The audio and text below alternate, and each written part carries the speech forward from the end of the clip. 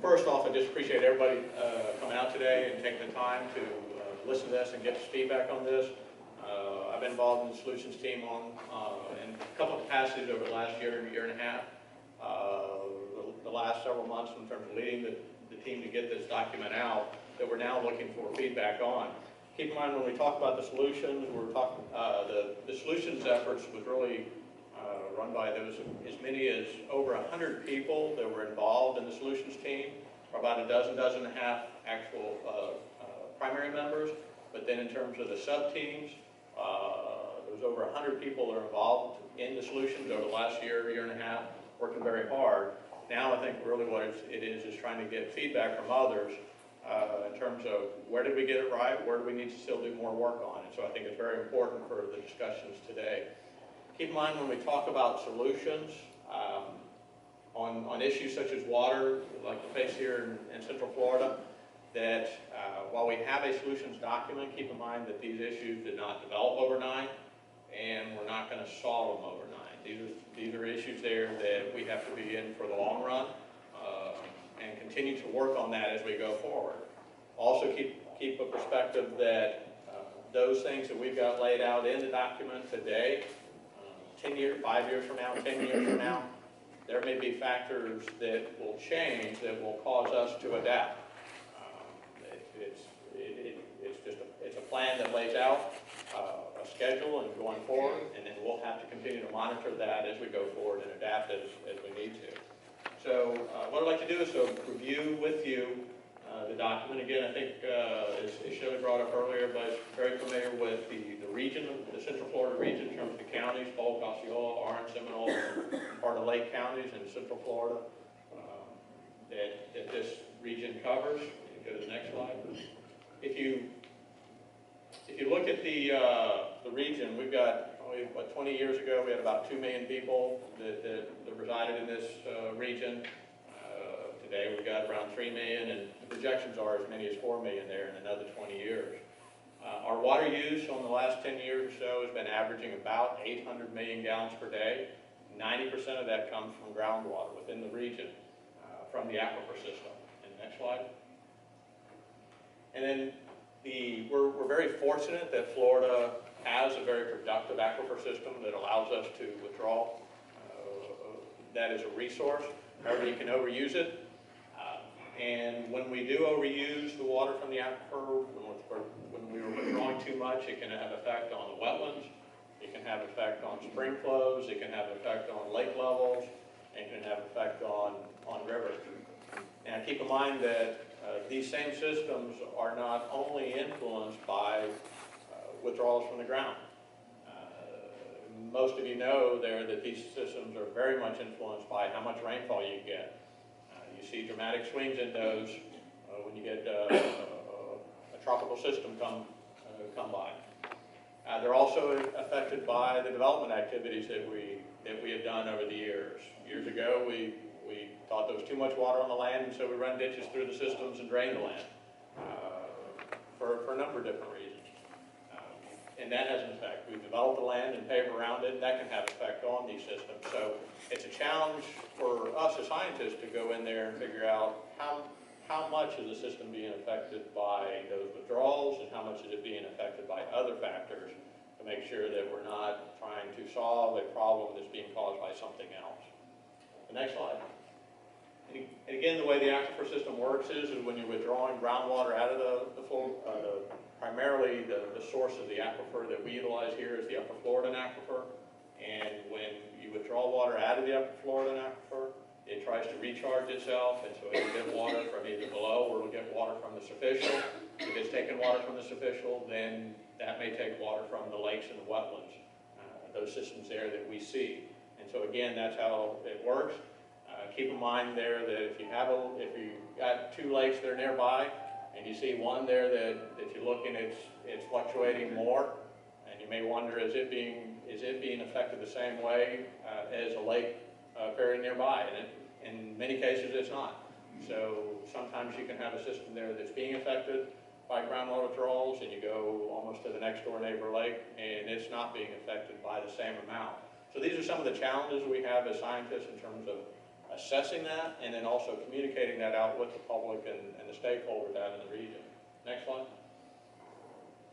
So what is CFWI? It's, it's a collaborative regional water supply effort to protect, conserve, and restore the water resource. And I think the two key words here are collaborative and regional. Uh, the collaborative part is, is that, again, this is a, an effort there that requires us to work very closely with all the stakeholders in there, whether it's public supply, agriculture, industry, and the business community, and the general public. We've got to work with all those stakeholders. We've got to have all those stakeholders engaged in the process to help us identify and implement the best solutions for the region.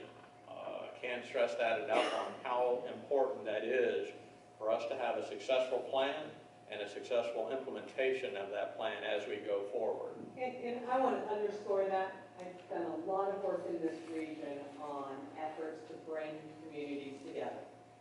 Without a doubt, this is a national best practice model on bringing um, stakeholders together to solve issues that are really critical for the long-term future of our region. And the, the um, water management districts and DEP should be really commended. Even if we disagree with particulars, the effort that's been put into this, nobody told them they had to do. This was based on what is best for our region. So I just want us to just take a moment and say thank you for the leadership of the three water management districts in DEP. Have a little round of applause. What we're doing here. I don't want to lose sight of that. In the next slide. The, the guiding principles, the steering committee uh, for the CFWI, which involves the water management districts, DEP, DACS, um, and utilities uh, that have been uh, instrumental in this, identified three guiding principles. Um, And really, you can look at those as kind of the goals. The first one is, is to identify how much groundwater, the sustainable groundwater that's available. That we completed about two years ago. We spent a great deal of time, and it's, it's an easy question. It's a harder uh, aspect to answer. And the reason being is, is that the three districts had uh, different tools. We looked at things a little bit differently, and what we had to do is to come together and work to utilize the same type of tools, uh, look at the same, the, the issues in the same type of manner, and then also have that a very open and transparent process, so the stakeholders, the utilities, DEP, and the others, could look at that and go, is that a, are, are we all in agreement in terms of what the science is saying, so we can agree on the science? Because if you can't agree on the science, then it's very difficult to move forward to some of the solutions. We got that completed about uh, a couple of years ago. The second step is to develop the strategy. Once you know how much groundwater is available, and you know what you need out in the future, then you start identifying, well, where do I get those other sources uh, other than groundwater in terms of meeting those needs? That's really uh, developed in two components. One is a regional water supply plan that we completed last year, draft, was out for public review, and that's part of that. The second component of number two is the solutions document that we just, uh, that the steering committee just approved a couple of weeks ago. That's really what we're asking for you all to review now is, is those regional uh, solutions uh, for the region. And really the difference between those, I'll touch base on the regional water supply plan you can look at is, is, is what are those demands that are going to be out there in the next 20 years? What are the options that are available? Once we had that, then we took those options and worked through the solutions plan to look at those in more detail to make sure those were solutions there that are viable, that could be implemented as we go forward. So that's how those two documents are very much related. The third item that we still have work to do is, is the establishing the consistent rules. Again, we know how much groundwater is available. We now have a regional water supply plan and our solutions document in terms of how we want to go forward. That's the draft that will be getting additional input over the next six months uh, from, from people like yourselves and others. Once we have that, then we need to uh, take what we've learned and, and look at our rules to see what rules do we need to modify so we have consistent rules uh, to provide the incentive and the framework so we can implement this strategy as we go forward. Next slide. The, again, the regional water supply plan looked at uh, what are, what are we using today, the 800 million gallons a day? What do we need in the next 20 years and by 2035, which is about 1.1 billion gallons a day, so about a 300 million gallon a day of increase. And we looked and said, well, there's about an additional 50 million gallons of groundwater, so that takes us from 8 to 850. That means we need to come up with another 250 million gallons a day of options. Uh, The good news was that the regional water supply plan found that there was about 300, 350 million gallons a day of options. And what we found is, is out of those options, many of them were like the uh, reclaimed water lines that go out to a neighborhood that the local governments and the utilities are implementing on their, on their, uh, on their own or with financial assistance. But those are uh, smaller scale projects, very important, very, it's part of the solution. But we also recognize there was a large component of the projects to meet our needs out there. There were these larger projects, projects there that were gonna require regional cooperation, regional collaborative efforts to be able to implement some of these capital intensive projects. Those are the ones there that we focused on in the solutions document that we'll cover a little bit. Again, this is gonna be up, the regional water supply plan efforts will be updated every five years. What I can tell you is that, uh, we'll know more information in five years and we may have to adapt as we go forward. Next slide. So the solutions discussion, what we thought we would do is, is not go through, uh, every aspect of the, the, the- what is it, four documents that, that we have out there in terms of the the summary and the appendices that are out there, but we, we thought we'd cover, uh, several items, and not just me speaking, but also Steve and, and Joanne will cover, uh, a couple of issues there that we've got identified. And before we go on, let's just pause there for a moment. They gave you lots of information about the background and why we need to have a regional water supply plan. What questions might you have that they can answer before we dive into this recommended solution? Yes, sir. Um, Please speak up so everybody can hear you. Rick Barrett, also County.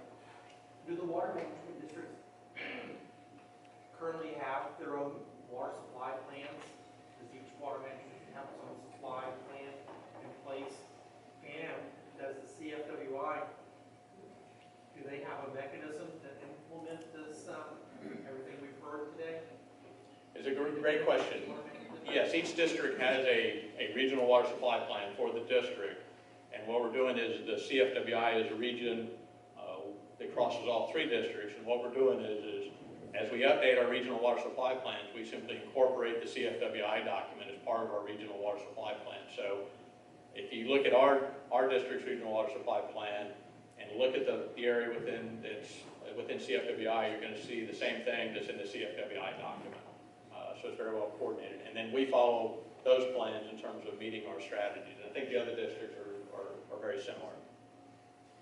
And, and the goal, Mark, was to get to a consistent regional water supply plan for this five-county area, knowing that it's got to coordinate with outside this region as well, correct? It it is, and it's, it's the first time we've done a document that crossed the three district boundaries, and many people go, well, Mark, why didn't, you know, why, why weren't the districts formed for this region instead of the way they, they were? Uh, we were formed back, back mostly in the sixties because of flooding, and that's what, uh, the primary charge was at the day, and so they, they, uh, formed us along the surface water boundaries. And then as we've grown in this area and relying on groundwater, now we're having to work across the boundaries. If back in the day we've been formed based on groundwater basins instead, we'd be forming alliances and working collaboratively to manage the surface water. So you've just got to take that into account that the groundwater basins and surface water basins are slightly different, and you've got to work across boundaries. And that's what this effort does, is help us to get consistent across the boundaries. Other questions? Steve, Mark, you did such a great job. And what, yeah, very good, go ahead.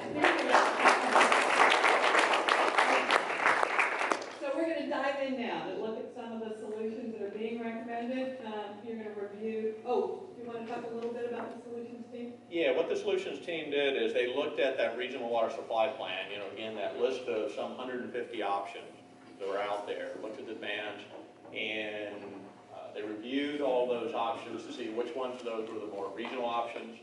They worked to develop specific water supply options and focused a lot of attention on conservation. They also wanted to make sure there that we're protecting the resources out there, the wetlands, the, the, the lakes, that uh, we're required to, to manage. And so they uh, uh, evaluated those options. And a key element of that was is also identifying, do we need additional data out there? Do we have all the data and the information we need to make the very best decisions as we go forward? And looked at what are the funding needs out there? It's not, it's just not enough for us to go out there and say, well, you need to go implement these projects. We need to look at what is this gonna cost and then work with the communities to figure out how are we gonna implement those over time? Because these projects are not inexpensive, uh, as we'll go through with that. So, the next slide. The key findings uh, were that water conservation is one of the critical pieces. It it will, as you'll see a little bit later, it's one of the the least expensive alternatives.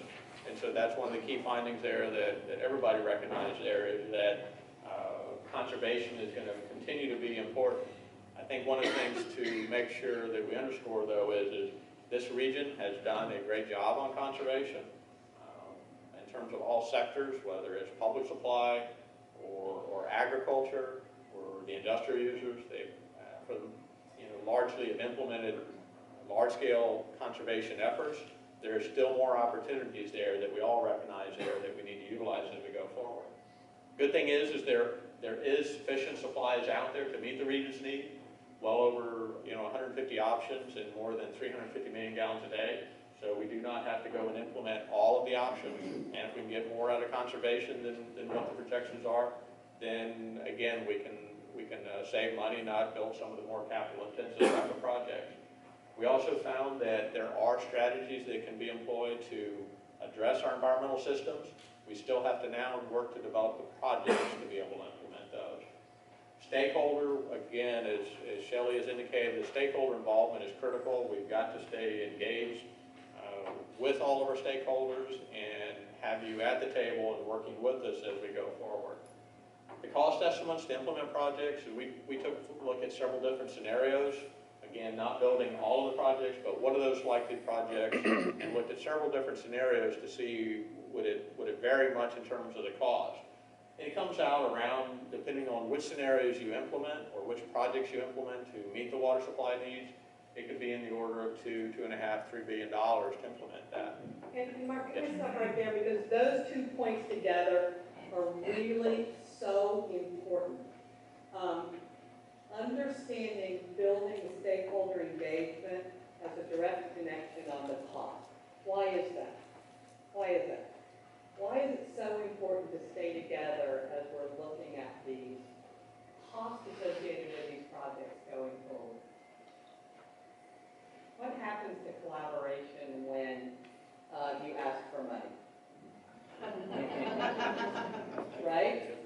So unless we have a shared commitment to moving this forward, the, the risk is that the minute, and we, we studied collaborations on this issue of water across the country.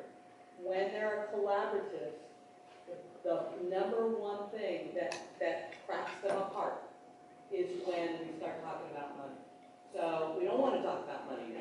What we want to talk about are the solutions, and we agree to them so that we can then see the value of what the cost will be, because there's a benefit to us as a region. Make sense? All right. And I think to, also to, to touch base on that is, is that keep in mind that the plan lays out these strategies.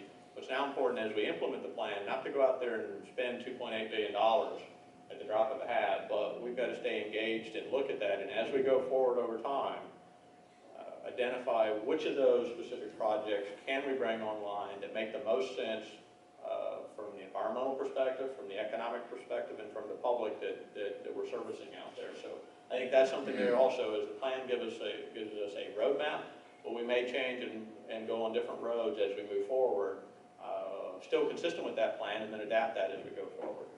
Again, the consistent rules and regulations is a key piece of it, and I think also the last one there is, is, is again, it's not just a, a plan that we put on the shelf and think, okay, well, we've solved the problem.